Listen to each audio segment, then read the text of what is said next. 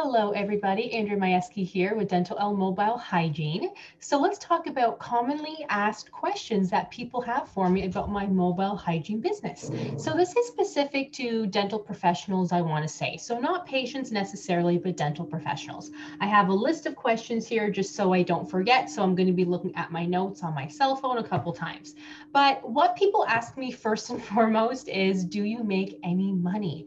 Is it worth it to leave your dental practice where you were working for somebody else, you didn't have business concerns, business worries to work for yourself. Because yes, everybody thinks it's going to be amazing. You can be flexible, do your own things, but it's your own business. You have to think about the money now. You have to think about the finances. You have to think about ordering.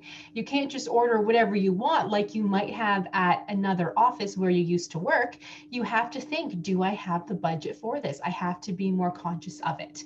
Yes, absolutely. It is completely worth it. I would not work for somebody else in a heartbeat, not even if they paid me five times times as, as much as I was making before. Why not? Because, and it's not just about the money, it's because I like to be flexible. I like to make my own hours. Sorry, guys, I think the mail is here again. Let me just pause this and I'll be right back. There you guys, I apologize, but literally I tried to do a video three times and the mail keeps on coming. So I'm just gonna pause it when the mail comes again and keep on going. This is what happens when you work from home. So yes, it is absolutely worth it. And it's not just about the money. It's because you get to make your own schedule. You get to do you what you want within you know, parameters with your patients. You don't have to think, oh, I have to bill this amount because this is what the dentist is telling me to. This is going to take me two hours to clean their teeth, but I'm only allotted 45 minutes that's the best part of it. But what everybody asks is, do you make enough money? Yes, absolutely. When I first started out, I was probably seeing one or two patients a week because I did still work at a dental office. That's another question is, do you still work at another dental office when you are, you know, starting out? Yes, I did because I didn't know if I could do it full time right away. And I wanted to make sure that there was still money coming in. It took me about I want to say a year before I fully just said, okay, I'm going to give this a solid shot. I'm busy enough. I can do it myself and just focus on my own business. But I would have left sooner, but it was around the time where I was moving cities and mortgage stuff. You can't just leave your place of employment. You need to stay there until you move into your own home. So I probably could have left six months into it, but I decided to wait and stick it out. And I am so happy that I did because once you do fully focus on your own business, you can advertise more. You have the time to do paperwork. You have the time to return patient phone calls, that kind of thing. So it's a lot easier. And I do strongly feel that if you do have your own business and that's it, it kind of lights a fire under you know under you basically so that you pretty much say okay i have to make this work because this is my only job i don't have somewhere else that i'm working in case this doesn't work out i have to make this work so that's a very common question um, other questions that people ask me are, who are your primary clients? So are, are they seniors, adults, children? I see mainly large families. So families coming to me saying they have three kids, the mom, the dad, they need their teeth cleaned. It's been several years, but they just simply don't have the time to make it out of the house. They want to book everybody in at the same time, but the dental office only has the one hygienist, let's say, so it would literally take them six hours to go. Yes, I go to people's homes. So families love that. I can see everybody at the same time. Another question is, do you direct bill? People love that. I did it right away. I, it was a cash only, and then they would submit it to their insurance companies afterwards. As soon as I decided to offer direct billing, I had gotten a lot more patients. Like it was instantaneous. As soon as I had advertised and I'm now accepting direct billing, meaning I submit everything to the insurance and patients pay me the difference not covered afterwards. And I take it a step further. I submit everything to their insurance first. I wait to hear back from the insurance. It could be that day or it could take two weeks. And then I ask for the difference afterwards. Patients love that because most people can't afford dental treatment right away. They want to get things done, but they simply can't afford it right away. If a dental office isn't offering direct billing, they might not be able to go there, or that's why they don't book their appointments every six months because they're like, well, I can't afford it right now. Christmas is coming up. I'll just do it next time. And then, oh, summer's here. We're going camping. Oh, I'll just wait till next year. You know, that's what happens. So just to make things as easy as possible. Yes, another question is do I offer direct billing? Of course I do, as I had just mentioned. It's not difficult to set up. I had purchased a dental hygiene software right away, um, Domtrak, which I can leave the link for you guys on the bottom. It's a dental hygiene software, but it does um, service. excuse me, um, dentists and denturists as well, but it's very cost effective. There are a lot of dental softwares out there that you know al- allow you to do paperwork to upload photos send claims electronically print claims print invoices do the scheduling all of that. But it can be 20000 plus dollars. I'm a one woman show here so i didn't really want to pay that um, I don't remember how much Domtrak was. I want to say 3,000. It could be 4,000, but that's it.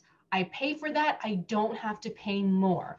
If you want the updates and the service, which I do have, which is once a year, it's about $800 per year. Totally worth it. But it's not $20,000, you guys. Totally worth it. I was doing it on paper, all of that. Initially, it took way too much time. Oh my God, I wanted to rip my hair out. So, getting a dental hygiene software was the best decision I ever made. I highly suggest getting one. You're probably thinking, I don't know if I'm going to be busy. I'm just going to do paper at first. I thought the same thing, but I quickly became busy and thanked my lucky stars as soon as I got that dental software. But they actually helped me get everything um, sort of going electronically because when I, I was talking to them at um, Domtrak to sign up, um, they kind of said, Are you sending things electronically? I said, No, I've heard it's really difficult to do. I just send it all by mail. They kind of said, Oh, no, it's the easiest thing. Let me send you the links on how to get started. Done.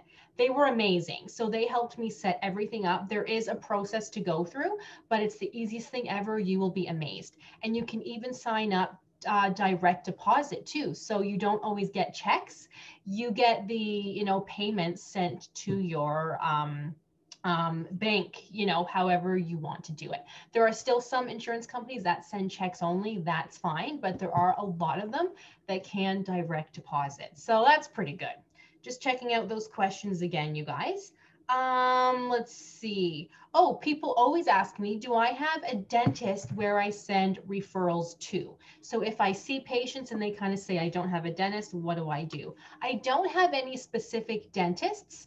Um, and I kind of feel like that's a conflict of interest too. So I do always tell my patients, you do need a dentist have a look, find one that's close to your home, however you want to do it. Ask your friends, family, who they see, and go from there. If you need help, I'm happy to help you, but it's as simple as doing a search online. I tell all of my patients you should still see a dentist at least once a year for a dental checkup and x rays. You might not need the x rays every year, but let them make that decision because I'm not a dentist. I clean teeth. They still need to go to their dental checkup because I can't see everything. I can't diagnose things. So that's where dentists come into play. Um, is PPE more costly because of COVID? Yes, it is. I used to buy a 300 box of um, gloves for $9.99. Now it's $39.99, you know, so yes, things are more expensive. I, you know, depending on where you live, I need to wear the gown. I need to wear the face shield. I need to wear the N95 mask. Safety glasses, which I've always done. Gloves, I've always done. Hair cap, we need to wear that now too. So, yes, things are more expensive, but you guys, it's a business expense. Don't even think about it. Order it that's what you need to do to run your business. It is what it is. I'm just happy to be working. I haven't complained once. I probably complained initially because I'm like, okay, now I'm like literally spending thousands more a month sometimes, but it is what it is. Um, what else? Let's see. How many patients do I see in a day? That depends. I like to see two households a day at the most. It could have one patient per household or it could have four patients per household. That really depends. If I know I'm seeing a family of five, then my next appointment of the day, say that afternoon, would likely be a two year old clean. Um, dental hygiene checkup. They probably don't need a cleaning. But I get a lot of parents, you know, messaging me saying, can you just check my two year old's teeth, three year old, if you see any problems? I see this little black spot. I don't know what to do. What do you think? So when I get appointments like that, I save those for when I'm seeing a big family of five. And then my next appointment will be something simple. I don't typically book, let's say, two households of five people each in one day, because that would be 10 people, which may seem very, very easy to you, but I do mobile dental hygiene. So I'm lugging all of that stuff in and out. I'm tired after lugging it in the house, honestly, not as tired as I used to be because I'm more used to it now, but I'm tired. So me having to do that twice and then see five people is just a lot for me. You learn what works for you. When I first started, I told myself, okay, I'm going to see three households a day, two patients each minimum. I told people I don't go to a household with one person. I do, but there will be more of a fee. There will be more of a mobile fee. So if you have two people, it's actually less of a mobile fee. So that's what I did. But I've since changed that. I am perfectly happy seeing one household a day, two households at the most. So it really depends on what I'm doing, who I'm seeing. Do I charge a mobile fee? Yes, I do. I didn't used to, but it just makes sense that I do because it's a specialty service. That is like my time that I'm taking to lug everything in and out. Whereas it'd be so much easier for me if people just came to me in my own office, which is behind here. But I still obviously love doing mo um, mobile. So, yes, I do charge a fee. I charged a lot more initially, actually. It was about $25 a person, but I've since changed that. So, in town, I might charge $10. If it's half an hour away, I might charge $15. But it truly depends. If I'm seeing a family of five, I might say, well, you know what? I'm not going to charge a mobile fee. But then I might anyway because it's still a lot of work. So I'm still kind of deciding that. But yes, I do charge a fee. Um, next question How far do I go? I go up to one and a half hours away only because places like Toronto, um, their traffic scares me. So I won't go to Toronto, you know, things like that. I don't mind going to little towns. Even if it's two hours away, I probably wouldn't mind coming to you as long as it's not Toronto or some busy place, just because that makes me uncomfortable. I I like driving, but I also don't like driving. So crazy Toronto traffic, no thank you. Um, do I use barriers? I hate barriers. Yes, I said it. I'm sorry. I hate them. What a waste of things to throw away. So, no, I do not. What I do is I use a sheet over my patient chair as an example, and that's one per household. So I will launder that after every household. Um, I disinfect everything, everything that can't be sterilized, I disinfect. What I do is I spray everything and those things that can be disin um, disinfected, like your um, air water syringe, your saliva ejector holder, that kind of thing. So I do spray everything first. I do wait about five minutes, sometimes 10 minutes as I'm like packing up things, and then I will wipe everything. So I'm kind of disinfecting twice. I don't like barriers. You don't have to use them. It's recommended unless they tell me differently. I won't be using them because it's so bad for the environment, in my opinion, and it's a waste. So, no, I don't use barriers. Let's see. Do I have loupes? Do I have a light? Um, yes, I do. So I have loupes. I have had them for, I can't even remember, 12 years now. Um, they help me see because they're magnifiers. I have a light on my loupe, the best investment ever. Do not buy loupes without a light. You're wasting your money just pay the extra to get the light. It's amazing how much better you can see and a better hygienist you are when you can have the light wherever you're looking. Think the overhead light. You have to move it. It's annoying. I'm mobile, so I don't want to bring in another light. So it's just easier for me to have a light on the end of my loupes. Um, oh, good question. Somebody asked me what takes up most of your time in your business? Is it marketing? Is it calling patients back? This answer might surprise you. It's actually charting. Yes. So I don't take notes when I'm there with the patient. I have a recorder where I record everything. I let the patient know I'm turning this on while I'm counting tooth numbers, while I'm explaining your gingival condition, while I'm doing the perio probing. And it's kind of nice for them to hear too. So they will hear me say things like thin enamel everywhere, um, generalized three millimeter gum recession. There's a suspected cavity here, here, and here, heavy tartar, moderate bleeding. They will hear me say this so I can do my notes when I get home. But you know what that means? After a long day, I get home and I have to take my notes. Is the mail here again? No. After a long day, I need to come home and take my notes.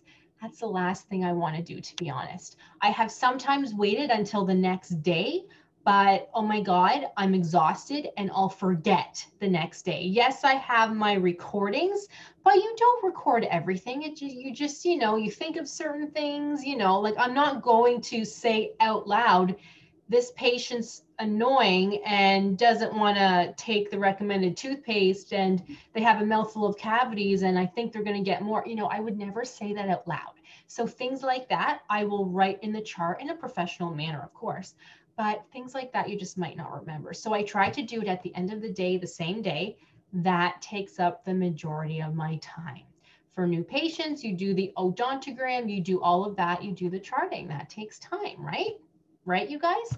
When you see a new patient exam and cleaning in your dental practice, it's probably at least 90 minutes, right? So when I go home, I'm pretty much spending 90 minutes per patient just doing notes, um, the medical history, uploading documents, sending to the insurance.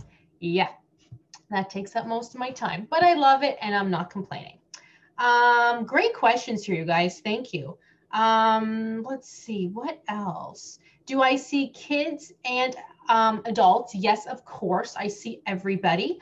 Um, I tell every single patient that they should still see a dentist. If they haven't within the year, I tell them as soon as possible, absolutely. Even if I don't suspect there's anything of concern, which hardly ever happens, just simply because everybody has something. It could be gingivitis, it could be perio, it could be suspected decay, it could be any of that. Um, another question, do I use silver diamine fluoride? Yes, I do. If you don't know what that is, look it up right now. It is genius. It's amazing. I use it multiple times a day in my practice. I use it on my own teeth. Basically, if there are suspected areas of decay, I put the silver diamine liquid over those areas and that will help to arrest the decay. It's great for children. Think two-year-olds. They won't be able to sit down to have a filling, put the silver diamine fluoride on there. It takes half a second, literally, maybe a, a full second, but then hopefully that decay is arrested. Um, any other questions? Oh, did I take out a business loan? Yes, I did. It was about $25,000. People ask me, why didn't you take out a personal loan? Why did you take out a business loan? I did that because it was just less interest at the time. I fully intended to pay it off within that year. So I worked really hard to pay it off, but I did need the business loan. The expensive items were the Statim sterilizer. You do not need one in your own home. If you know of a dental office that will let you use one, but I wanted one in my own home because I knew that I would be seeing many patients. That was the idea and all of that. So I'm so happy that I got one, but that's about $10,000. I needed the compressor unit that houses the air, the water, the um, the high speed handpiece, and the slow speed handpiece. I'm a restorative dental hygienist, so I can use the high speed handpiece to place, polish, um, finish temporary restorations, among other things. So that's why I did want the high speed hookup. That was about, I want to say $6,000 for the compressor, but don't quote me. Then, of course, you need the mask, the gloves, the bibs, the saliva ejectors, you need instruments, you need like polishing paste, you know, like everything. So yes, I took out a $25,000 loan. I paid it off within that year, not because I made that much with my patients, but because I was saving every penny. I took extra hours at work where I did at the dental office. I worked really hard. But you guys, I'm a saver, I'm not a spender. So I don't like taking out loans. So when I did, I knew that I wanted to pay it off ASAP. What else? Mobile hygiene. If you guys think of any questions, comment below and I will definitely answer them while I'm thinking about it, you guys. I do try to get to my YouTube comments once a week. I apologize if it's longer sometimes. I get a lot of comments, which is wonderful, but sometimes I just don't have the time to answer them. So I apologize, but please do comment and I will get to you when I can. I hope this helped. Um, I do teach a course for mobile dental hygienists who want to start their own mobile hygiene practice. I will leave the link for you guys there on the bottom. I go through everything in detail, a lot more. Let me know if you have any questions. Thank you guys.